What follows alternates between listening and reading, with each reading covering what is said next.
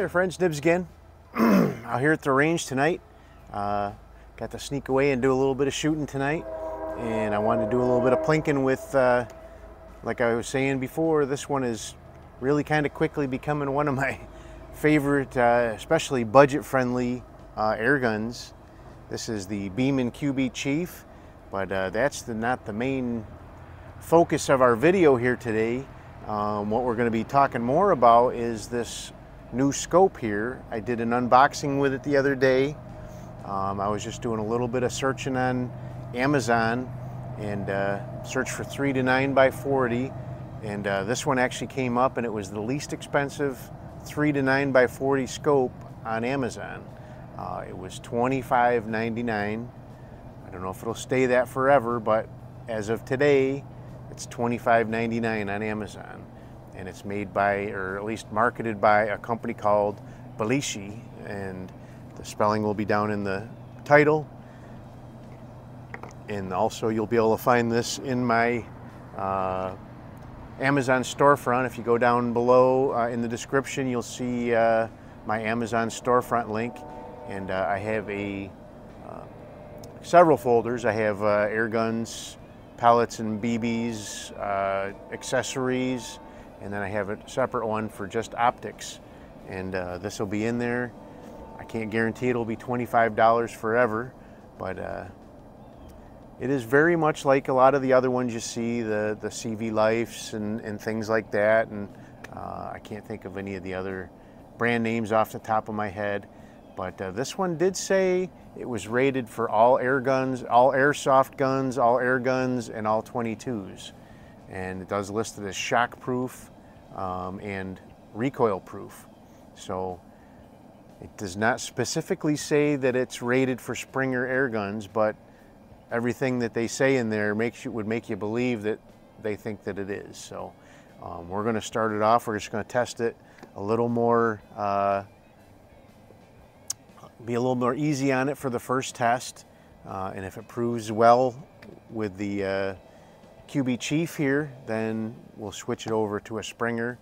Maybe I'll throw it right onto my Diana 350 Magnum and, uh, and really put it to the test. But uh, I've, I've, zeroed it with uh, Crosman Premier Hollow Points and it really seemed to be doing good. I really didn't spend a lot of time doing groups with it, but I got it zeroed and the couple shots after that went right where I had it zeroed.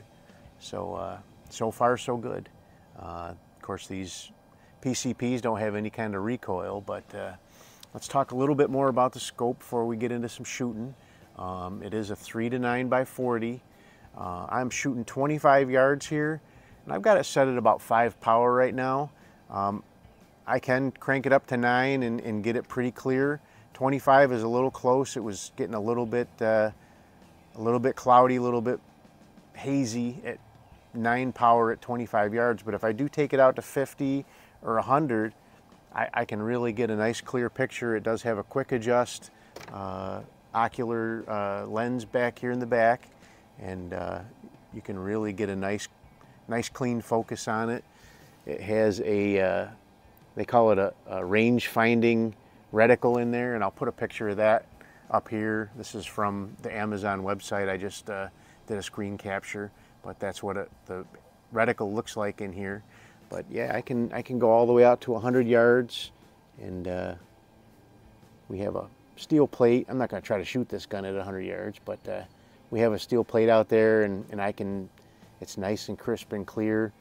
But when I come back into 25 yards, it's it's a little bit much for. Uh, I did I was able to get it to focus, but I think 25 is or five power is is more than enough. Like I said, it's loosely zeroed, so we're gonna go more for grouping right now than for, uh, than for, you know, worrying about point of impact so much. But uh, I'm gonna do a group with the Premier Hollow Points. I did try a couple with the, uh, I've got some H&N Excite hammers, 22 caliber also. And I also have some Barracudas, which are really heavy, so we'll try some of those as well. All right, let's go ahead and take some shots at uh, Splatterburst downrange here. Like I said before, we're shooting 25 yards. Got the Beeman QB Chief with the Beileshi. I'm gonna start out with the Crosman Premier Hollow Points. These are the ones I actually roughly zero this thing out with. So we'll go ahead and try those first and, and then we'll try some of these other ones, uh, see how we do.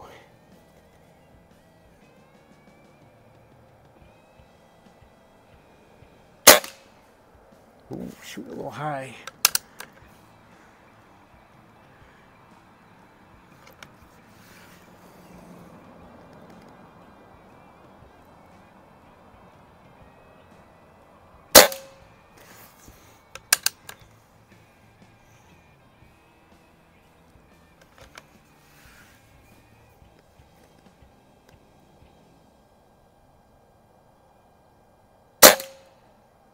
I don't know why that first one went high like that. That's weird.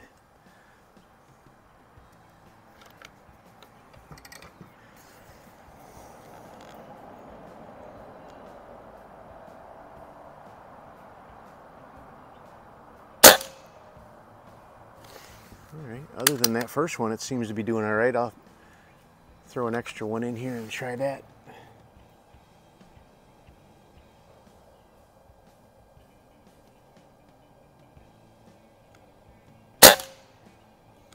Yeah, really nice group except for that first one.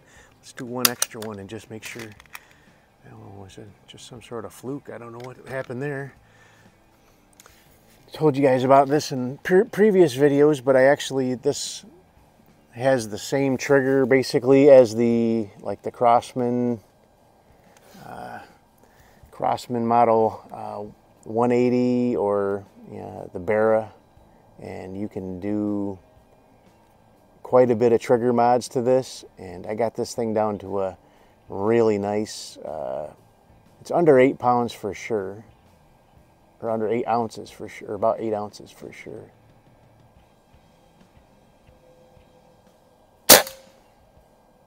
All right yeah I have no idea what happened with that first one. Let's go ahead and uh, we'll try some of these so these uh, Premier Hollow Points are 14.3 grains. These uh, H&Ns are a 14.7, so a little bit heavier, but not too much. They're still a round point, so this gun seems to really like these round points. Try it. Next splatter burst over.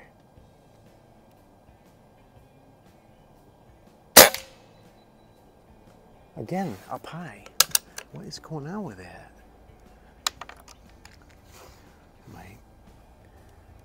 Am I doing wacky things with the rangefinder? I don't think so.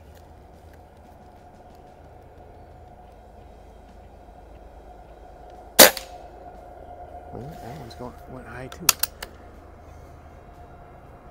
I did not zero with these pellets, so I kind of expected the point of impact to shift a little bit.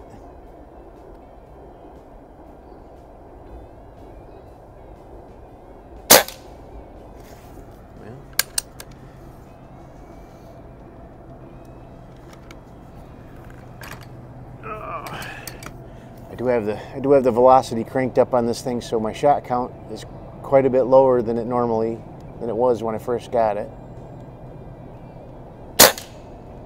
Wow, this thing is flinging these uh, H and N's all over, yeah, the sights all over the place.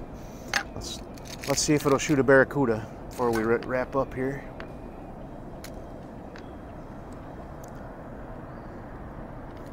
When I first got this, it was doing about 600 feet per second and I could get about 25 or 30 good shots with it. Right now I've got it set at a little over 700 feet per second with the Crosman Premier Hollow Points. And uh, I'm getting about 20 shots with it. So I think that's a really, uh, really good kind of trade-off as far as power to uh, shot count.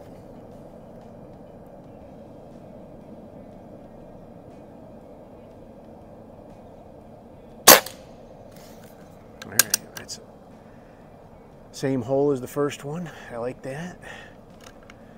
It's a decent little scope. I, I don't think there's any, I don't think that H&N I don't think that plinking, that Excite Hammers problem was anything to do with the scope for sure.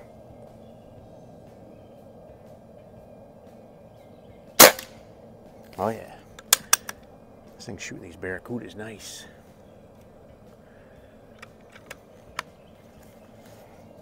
About to run out of air though, I know it.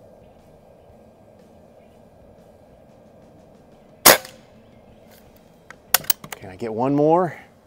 I think I'm gotta be just about out of the out of the green zone.